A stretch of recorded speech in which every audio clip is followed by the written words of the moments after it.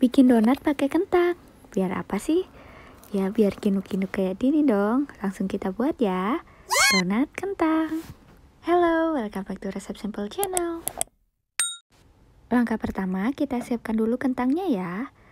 Di sini saya pakai kentang ukuran medium atau sedang. Beratnya 177 gram, tapi kita potong, kita ambil 100 gram saja, kira-kira setengah lebih ya. Kemudian kita kupas, Lalu kita kukus. Kita kukus sampai empuk kira-kira selama 20 menit atau sesuaikan saja ya dengan kompor masing-masing. Setelah matang seperti ini, kita dinginkan dan kita haluskan. Haluskannya bisa manual menggunakan garpu atau juga bisa menggunakan chopper maupun food processor ya jika ada. Nah, ini saya bantu haluskan dengan ulekan supaya lebih lembut seperti puree. Setelah siap, selanjutnya kita siapkan bahan cairnya atau starternya. Yang pertama, kita masukkan 3 sendok makan gula pasir atau sekitar 45 gram. Selanjutnya, kita tambahkan 100 ml susu cair dingin atau sekitar 10 sendok makan. Bisa juga diganti dengan air biasa ya. Setelah itu kita aduk sampai gulanya menjadi larut. Nah, jika sudah larut seperti ini, selanjutnya kita tambahkan 1 sendok teh ragi instan. Nah, dengan membuat starter seperti ini, kita bisa tahu ragi kita masih berfungsi atau tidak. Karena biasanya membuat donat itu gagal karena raginya tidak berfungsi sehingga adonannya tidak mengembang. Kita tutup dulu ya sambil kita siapkan bahan bubuknya.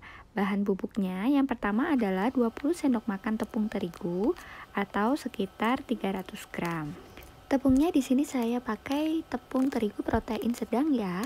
Bisa juga ditambah dengan protein tinggi jika suka. Selanjutnya kita masukkan starter yang sudah kita buat tadi. Terlihat ada buih-buihnya.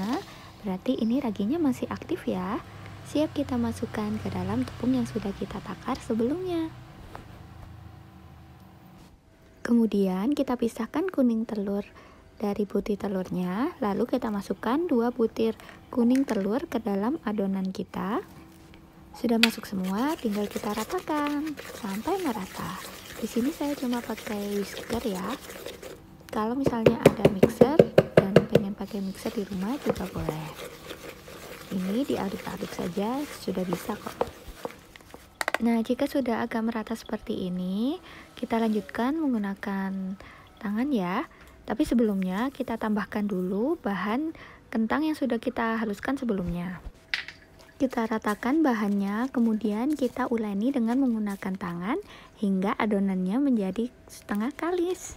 Kalau di tengah proses mengulanginya terasa lengket, tangannya boleh diolesi minyak atau tepung ya, supaya nanti tidak lengket dengan adonannya.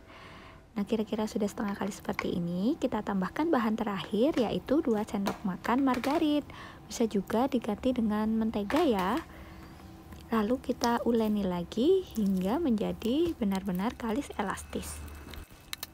Seperti ini. Jika kita cubit, kita tarik adonannya elastis dan tidak gampang untuk sobek.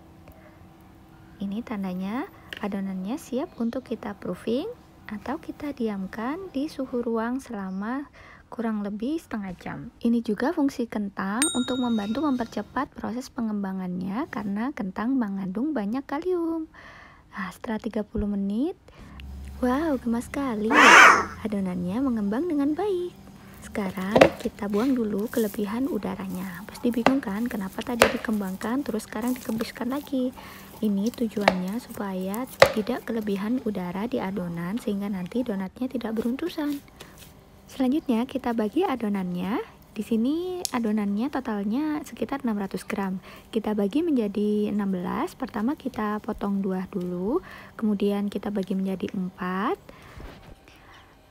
Lalu kita bagi menjadi 8 lalu masing-masing nanti kita bagi lagi menjadi dua. Jadi ini cara mudahnya ya supaya tidak perlu menimbang satu-satu.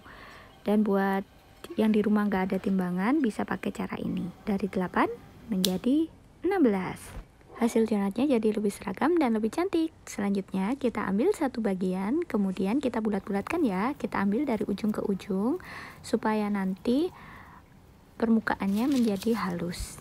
Sambil kita bulat-bulatkan Lakukan sampai habis. Jika sudah, kita pipihkan adonannya sebelum nanti kita lubangi tengahnya. Untuk melubangi bagian tengahnya, saya menggunakan tutup botol yang kecil, kemudian saya lumuri dengan tepung supaya nanti tidak lengket. Supaya nanti tidak lengket. Kita tekan tutup botolnya yang sudah kita lumuri, lalu kita ambil bagian tengahnya. Kenapa harus bolong? Jadi, bolongan di tengah donat itu berfungsi supaya nanti pada saat kita goreng matangnya merata. Karena kue donat itu mengembang supaya nanti semua bagiannya matang. Langsung saja ya kita goreng. Beberapa tips saat menggoreng, gunakan minyak yang sudah panas. Minyak yang sudah panas ditandai dengan adanya bui-bui gelembung jika kita masukkan sumpit kayu seperti ini. Tapi gunakan api yang kecil saat menggoreng. Lalu jangan banyak-banyak untuk menggorengnya. Di sini saya hanya menggoreng empat saja supaya nanti ada ruang buat donatnya untuk mengembang. Nah ini bagian tengahnya saya putar-putar seperti ini supaya nanti ukuran lubangnya tidak mengecil karena pada saat donatnya mengembang nanti bisa-bisa lubangnya tertutup. Setelah itu kita balik. Nah seperti ini dia mengembang dengan baik saat digoreng. Gemas sekali ya bentuk donatnya. Donat kentang ini bagian luarnya itu crispy tapi bagian dalamnya itu sangat lembut. Nah, jika sudah matang, siap kita angkat. Dengan menggunakan sumpit seperti ini, lebih mudah ya mengangkatnya. Mudah ya membuatnya. Donatnya ginuk-ginuk sekali, tidak sabar untuk memakannya. Gimana ya rasanya? Mari kita coba. Tekstur luarnya itu garing, ini ada white ringnya, tapi dalamnya itu empuk banget. Lihat ini, begitu elastis. Bagian dalamnya itu lembut banget. Walaupun semalaman, besoknya di, baru dimakan, itu masih tetap lembut loh. Ini saya beri gula halus paginya. Dan walaupun sudah semalaman, pas dimakan tetap lembut. Ini untuk resepnya. Jika suka dengan video ini, jangan lupa like dan share ya. Kalau ada pertanyaan atau request subscribe, silahkan tulis di kolom komen. Dan buat yang belum subscribe, subscribe dulu ya. Terima kasih, sampai jumpa di video selanjutnya.